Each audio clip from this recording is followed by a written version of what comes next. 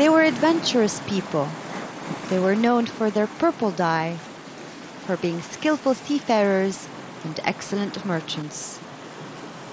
Their traders spread various inventions across the Mediterranean, the most important of which was their written language.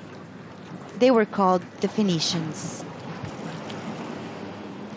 One of their harbors was here, Byblos, today the northern coastal Lebanese town.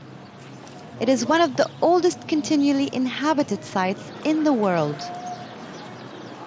Now, a Lebanese scientist is working hard to trace the Phoenicians' footsteps in Lebanon from Byblos, and genetic testing is his only guide. One in 17 men across the Mediterranean carry Phoenician signature, which I think was marvelous to find.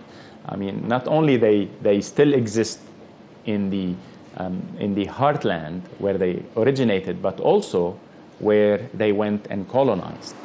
This research is part of the Genographic project sponsored by the National Geographic. It is a global study tracing migration out of Africa some 50,000 years ago. Many Lebanese see themselves as descendants of the Phoenicians, but the new study reveals that only 27% of the population carries the Phoenician gene. The rest are a genetic cocktail. For thousands of years, Lebanon has been a passageway for different civilizations, such as the Romans, Greeks, Arabs, Europeans, and many more.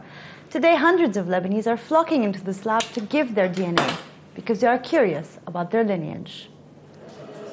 The DNA test is free, and many Lebanese are keen to take part of the research. I'm interested to see if I'm a Phoenician uh, branch.